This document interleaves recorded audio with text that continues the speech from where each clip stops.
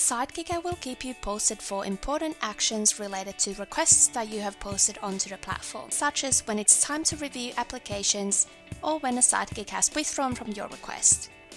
However, if you wish not to be notified of these actions, you can manage the email notifications through your account settings on Sidekicker. Click your name on the bottom left corner and select My Account.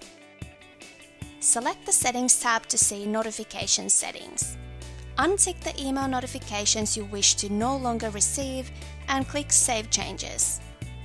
Next time you will not be notified of these actions on the platform and you can change your preferences at any time.